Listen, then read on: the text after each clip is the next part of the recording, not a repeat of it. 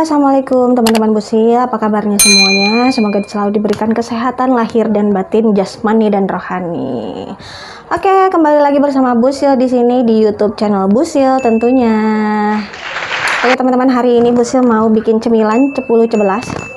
Mau bikin cemilan teman-teman ya. Ini kayaknya bisa jadi referensi menu tambahan buat teman-teman yang lagi usaha atau dagang di rumah gitu. Ini kayak gorengan setiap datang ke rumah mertua gitu. Jadi di sana ada yang ngejual ini dan bosnya selalu beli ini harganya itu kalau nggak salah seribuan ya jadi bahan-bahannya gampang banget loh yang pertama ini yang pasti ini ada telur puyuh bosnya pakai ada 8 telur puyuh ya untuk sekarang ini. Ini sesuai selera teman-teman kalau mau bikin banyak ya berarti banyak sih telur puyuhnya. Ini telur puyuh. Lalu ada bihun. Bihunnya juga terserah ya teman-teman ya. Teman-teman kalau mau dibanyakin bihunnya juga ini tinggal disesuaikan aja dengan selera teman masing-masing. Nah pasti ini kulit lumpia.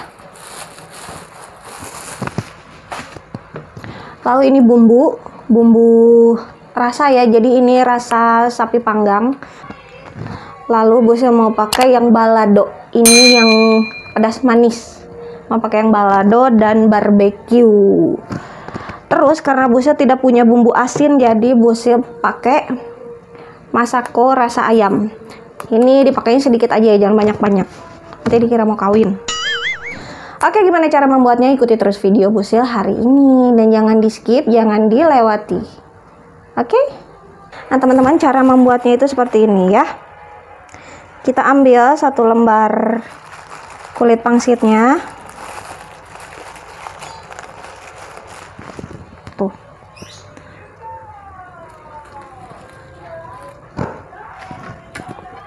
Nih ya.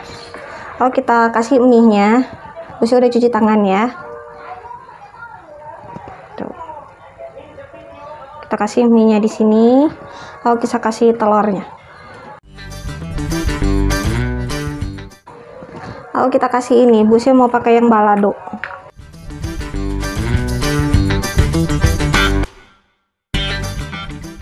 Lalu kita kasih ini sedikit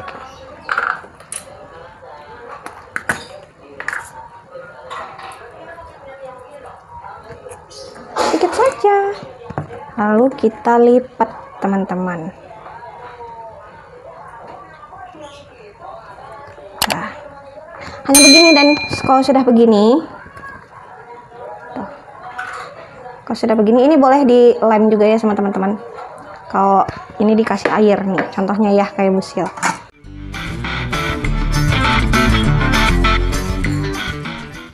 ini tinggal kita goreng ya teman-teman ya. Tuh udah jadi kita bikin lagi ya teman-teman ya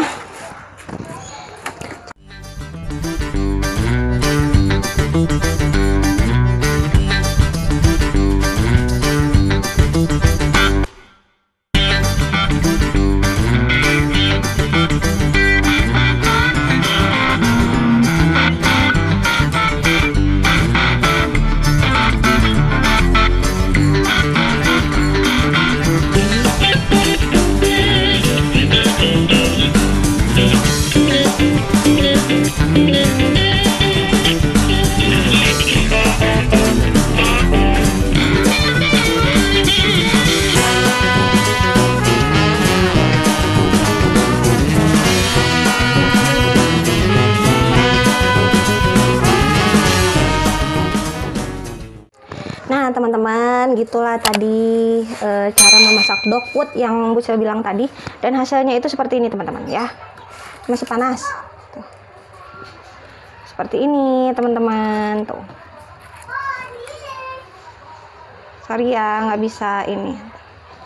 Tuh, hasilnya seperti ini. Ini enak. Tuh, kita cobain ya.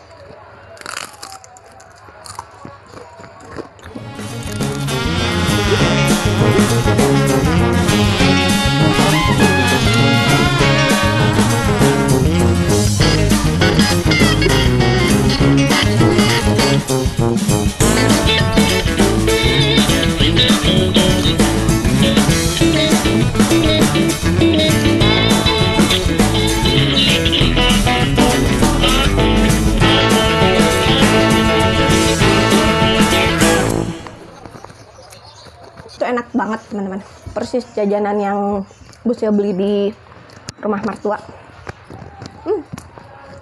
teman-teman cobain dan ini bisa jadi referensi buat yang jualan gorengan gitu yang dagang-dagang kecil-kecilan di rumah. Ini bisa jadi referensi. Nah teman-teman Busil sekarang kita cobain makan ini.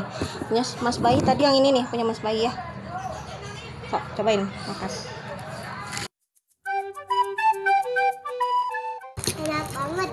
enak banget ya Ya. hmm.